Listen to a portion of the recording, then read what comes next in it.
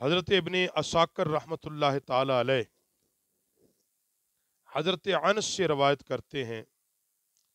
नबी करीम सल्लल्लाहु अलैहि वसल्लम ने अपने दस्ते मुबारक में कंकरियाँ ली और वो तस्बीह करने लगी। यहाँ तक कि हमने उनकी तस्बीह की आवाज़ सुनी।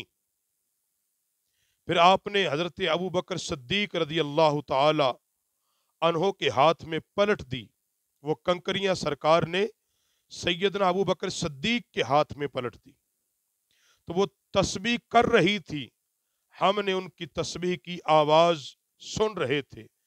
और फिर उन्होंने सैयदना अबू बकर सद्दीक ने सैयदना फारूक आज़म के हाथ में वो कंकरियाँ पलट दी।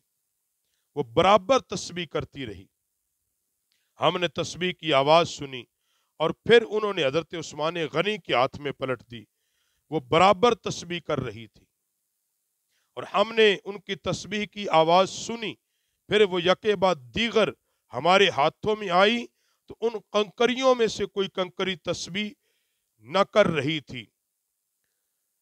तो इससे नबी सलाम का ये मोजा कि सरकार के दस्ते अकदस में अगर पत्थर भी आ जाएँ तो वो तस्बीह करती हैं। और इतनी बुलंद आवाज़ से तस्बीह कर रही होती हैं कि सियाबा कहते, हम उनको सुन रहे थे। और हज़रत अबू मालिक रदी अल्लाह तन हज़रत इबन अब्बास से रवायत है कि उन्होंने फरमाया, शहान हदर, मौत रसूलुल्लाह सल्लल्लाहु वसल्लम के दरबार आली शान में आए। यानी मौत का फरिश्ता सरकार के बारगाह बेकसपना में आया उन्होंने कहा कि हमने आपसे एक बात मख्फी रखी है। आप बताइए वो बात क्या है? हुजूर सल्लल्लाहु अलैहि वसल्लम ने फरमाया सुबहान अल्लाह ऐसी बातें तो काहिन लोग भी करते हैं।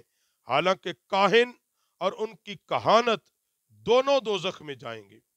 यानी सरकार ने फरमाया कि काहिन और कहानत, यानी नजूमी और उनसे पर ईमान रखने वाले ये दोनों दो में जाएँगे। इस पर उन्होंने कहा, फिर हम कैसे जाने कि आप वाकई अल्लाह के रसूल हैं? कोई मुआवजा दिखाएँ फिर हमें। तो रसूलुल्लाह सल्लल्लाहु अलैहि वसल्लम ने अपने दस्त अकदस में संग्रेजे लिए, यानी पत्थर के छोटे छोटे टुकड़े सरकार ने अपने हाथ में लिए। फरमाया, ये शहादत देंगे, मैं अल्लाह का रसूल हूँ। जब सरकार ने वो संग्रेजे अपने हाथ में पकड़े तो वो पत्थर बोल के कह रहे थे कि अल्लाह के सिवा कोई इबादत के लायक नहीं, मोहम्मद अल्लाह के रसूल हैं। यानी पत्थर भी जानते हैं कि मुहम्मद अल्लाह के रसूल हैं।